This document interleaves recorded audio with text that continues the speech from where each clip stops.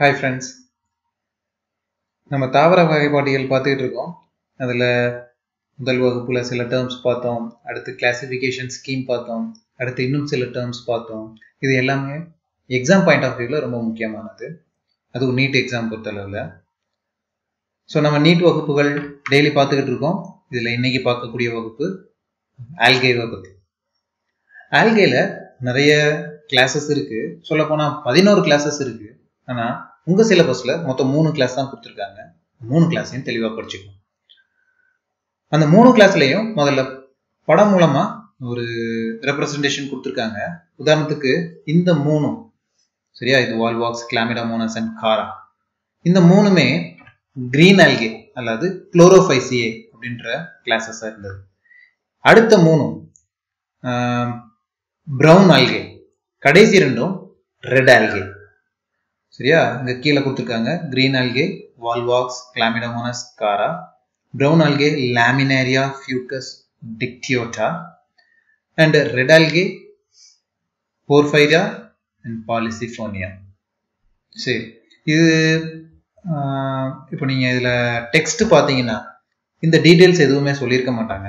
ஆனால் வழக்கமாக இப்போதைக்கு போன வருஷம் அல்லது இந்த வருஷத்துலலாம் நிறைய டயக்ராம் பேஸ்டு கொஷின்ஸ் கேட்க ஆரம்பிச்சிட்டாங்க. இந்த டயக்ராம்லேயே நிறைய இன்ஃபர்மேஷன் கொடுத்துருக்காங்க. உதாரணத்துக்கு கிளாமிடோமோனஸ்க்கு ஃபிளாஜெல்லா இருக்கு. சரியா? அதுக்கப்புறம் பிரான்ச்சஸ் எதுல இருக்கு? பிரான்ச்சஸ் அண்ட் ஆக்சிஸ் இருக்கக்கூடிய ஆல்கே என்ன? கிளாமிடோமோனஸ் வால்வாக்ஸ் ஃபியூசர் ஃபியூனேரியம் அப்படின்னு சொல்லிட்டு கேட்டாங்கன்னா நீங்க சொல்ல முடியும் அதுல. அடுத்தது ஏர் பிளாடர் இருக்கக்கூடிய ஆல்கே எது? அப்படின்னு கேட்டா சொல்ல முடியும். ஹோல்டு ஃபாஸ்ட் இருக்கக்கூடிய ஆல்கே எது? அப்படின்னு கேட்டா உங்களுக்கு சொல்ல முடியும். ஹோல்டு ஃபாஸ்ட் அண்ட் ஸ்ட்ரைப் ரெண்டுமே எதுல இருக்கு? ப்ரௌன் ஆல்கேல இருக்கு. சரியா?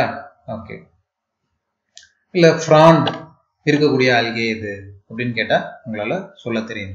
மெயின் ஆக்சிஸ் அண்ட் பிரான்ச்சஸ் சீனென் அப்படின்னு சொல்லிட்டு போட்டு பாலிசிபோனியா வால்பாக்ஸ் கிளாமிடோமோனாஸ் லேமினேரியா அப்படின்னு கேட்டாங்கன்னா நீங்க பாலிசிபோனியாவை சூஸ் பண்ணணும். ஸோ இந்த மாதிரி டயக்ராம் பேஸ்டு கொஷின்ஸ் நிறைய கேட்க ஆரம்பிக்கிறாங்க. அதனால நீங்கள் அந்த டயக்ராமை ரொம்ப தெளிவாக பார்த்துக்குங்க. அது போக உங்களுக்கு எக்ஸாம்பிளும் கேட்பாங்க. Among the following which one அது எக்ஸாம்பிள் ஆஃப் க்ரீன் ஆல்கே அப்படின்னு சொல்லிட்டு நாலு ஆப்ஷன் கொடுப்பாங்க. ஸோ இதெல்லாம் நீங்கள் கொஞ்சம் தெளிவாக படிச்சுங்க இதுக்கு அடுத்தது ஆல்கே ப்ரொடியூஸ் பண்ணக்கூடிய பொருட்கள் நம்ம தெரிஞ்சிருக்கணும். அதில் முக்கியமானது ஆல்ஜி அண்ட் கேரகின் சரியா? ஆல்ஜின்றது ப்ரௌன் ஆல்கேவும் கரகின்றது ரெட் ஆல்கேவும் ப்ரொடியூஸ் பண்ணுது. இது வாட்டர் ஹோல்டிங் சப்ஸ்டன்சஸ்ன்னு சொல்றாங்க.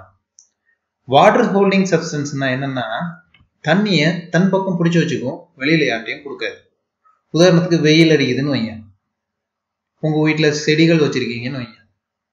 அந்த செடிக்கு கொஞ்சம் தண்ணி ஊத்திட்டு அதுக்கு மேல இந்த அல்ஜின் கரக்கின் பவுடரை தூவி விட்டோம் அப்படின்னா உள்ள இருக்கிற தண்ணி வெளியில ஆவியாகி போகிறது அதுதான் algin carrageenan water holding substances இது தண்ணியை வெளியில் விட்டுறாது சீக்கிரத்தில்.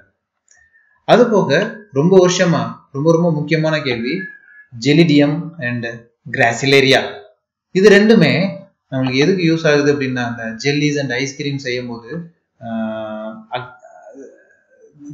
செய்ய உண்டான மூலப்பொருளான அகர் அப்படின்ற ஒரு பொருளை கொடுக்குது. அதனால இந்த ரெண்டு ஆல்கேவும் ரொம்ப முக்கியம். பல ஆல்கேவை நம்ம சாப்பாடாவே சாப்பிட்றோம். ப்ரோட்டீன்ஸ் நிறைய இருக்கு அதுல. குளோரெல்லா அண்ட் ஸ்பைருலினா இது எல்லாத்தையுமே நம்ம சிங்கிள் செல் ப்ரோட்டீன்னு சொல்லலாம். ஆல்கேவோட முக்கியத்துவத்தை எக்கனாமிக்கல் இம்பார்ட்டன்ஸை நான் முன்னாடி வீடியோக்களில் சொல்லியிருக்கேன். நீங்கள் இன்னொரு தடவை கூட அதை பார்த்துக்கோங்க.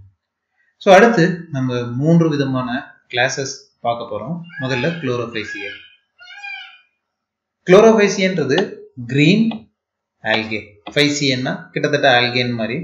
குளோரோ அப்படின்னாலே கிரீன் அர்த்தம். அதனால தான் குளோரோபிளாஸ்ட் அப்படின்னு சொல்லிட்டு பேர் வச்சுட்டாங்க. நிறைய பேர் நம்ம என்ன நினைப்போம்னா குளோரோ அப்படின்னாலே கலர்னு நினைப்போம். ஏன்னா உச்சரிப்பு ஒன்றா வருது இல்லையா? அப்படி கிடையாது. குரோம் அப்படின்னா தான் கலர் உதாரணத்துக்கு நீங்க கூகுள் குரோம் ப்ரௌசர் பார்க்கலாம். அந்த ப்ரௌசர்லேயே நாலஞ்சு அந்த ஐக்கான்லேயே நாலஞ்சு கலர் வச்சிருப்பாங்க. இப்போ குரோமோனா கலர் குளோரோனா பச்சை. ஸோ குளோரோபேசியே என்ன கலர்ல இருக்கும் நீங்க சொல்லுங்க பார்ப்போம். வெரி குட் கிரீன் கலர்ல சரியா? ஸோ எல்லா கொஸ்டினுமே கிட்டத்தட்ட இதே மாதிரி தான் நம்ம புரிஞ்சுக்கிட்டோம்னா தெளிவாக தெரிஞ்சுக்கிட்டோம்னா இப்படி அட்டன் பண்ணிடலாம். இதுல நம்மளுக்கு முன்னாடி இந்த cup shaped chloro chloroplast reticulate குளோரோபிளாஸ்டுக்கெலாம் examples கேட்டிருந்தாங்க. அதெல்லாம் நான் இந்த வகுப்பில் பெரிய அளவில் கொடுக்கல இப்போ உள்ள புக்கில் அதை நான் தனியாக எக்ஸ்ட்ரா கிளாஸஸ் எக்ஸ்ட்ரா நோட்ஸ் அப்படின்ற கேட்டகரியில் நான் உங்களுக்கு கொடுக்குறேன். ரொம்ப இன்ட்ரெஸ்டட் இன்ட்ரெஸ்டடா இருக்கிறவங்க அதையும் பாருங்கள் ஓகே ஜென்ரல் இன்ஃபர்மேஷனை நம்ம அந்த டேபிள்லயே பார்த்துடலாம். சரியா? ஸோ நம்ம ஆல்ரெடி முதல்ல சொன்ன மாதிரி இந்த ஆல்ஜின் கிளரகின் இந்த ஹோல்டு ஃபாஸ்ட் எதில் இருக்கு இப்படின்ற டீட்டெயிலில் நீங்கள் இதில் பார்த்துக்குங்க. நம்ம கடைசியாக இந்த டேபிள் ரொம்ப ரொம்ப முக்கியம். இதில் முக்கியமாக கேட்கக்கூடிய கேள்வி ஸ்டோர்டு ஃபுட் ஆல்கேவோட ஸ்டோர்டு ஃபுட் ரொம்ப முக்கியம். ஆல்கேக்கு ஃப்ளாஜெல்லாம் இருக்கா இல்லையான்ற டீட்டெயில் ரொம்ப முக்கியம். சரியா? இந்த ரெண்டு டீட்டெயிலும் தான் ரொம்ப முக்கியமா அடிக்கடி கேள்விகள்ல கேட்கக்கூடிய விஷயம். அதனால அதை நீங்க தெளிவா தெரிஞ்சுக்கணும். உதாரணத்துக்கு ஃபேயோஃபேசியோட ஸ்டோர்டு ஃபுட் என்ன அப்படின்னு சொல்லிட்டு உங்கள்கிட்ட கேட்பாங்க. மேனில floridean starch mannitol laminarin both C B and C அப்படின்னு கொடுப்பாங்க. இதில் நீங்க கவனமா இருக்கணும். அடுத்தது ஃபிளாஜில்லா இப்போ இதை வச்சு இன்டெரக்டா ஒரு கொஸ்டின் கேட்கலாம். உதாரணத்துக்கு among the following which algae cannot able to move அப்படின்னு சொல்லிட்டு கேட்கலாம். இப்போ இந்த நாலு ஆப்ஷனை உங்களுக்கு உதாரணம் கொடுத்து கேட்கலாம். ரோடோஃபைசியில இருந்து ஒன்னு எக்ஸாம்பிளும் ஃபையோஃபைசியில இருந்தும் குளோரோஃபைசியில இருந்தும் மற்ற மூணு எக்ஸாம்பிளும் கொடுத்து கேட்டாங்கன்னா உங்களுக்கு சொல்ல தெரியும். இது எல்லாம் கேள்வியை கொஞ்சம் ட்விஸ்ட் பண்ணி கேட்குற விதங்கள். சரி. ஆல்கேவை பொறுத்தளவுல ரொம்ப பெரிய பிரம்ம பிரயத்தனம்லாம் கிடையாது. ரொம்ப ஈஸியான விஷயம்தான். சில விஷயங்கள் நீங்கள் மனப்பாடம் பண்ணணும். அந்த விஷயங்களை நீங்கள் புக்கில் படித்து மனப்பாடம் பண்ணிக்கங்க. மற்றபடி இதில் புரிஞ்சுக்கிறதுக்கு வேறு எந்த விஷயங்களும் இல்லை. அடுத்த வகுப்பில் நம்ம பிரயோஃபைட்ஸை பற்றி பார்ப்போம். மிக்க நன்றி.